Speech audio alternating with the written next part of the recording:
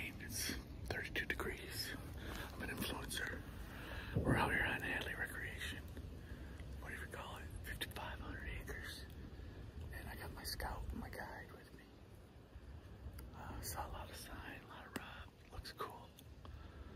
Gotta take advantage of this resource. It belongs to all of us, right?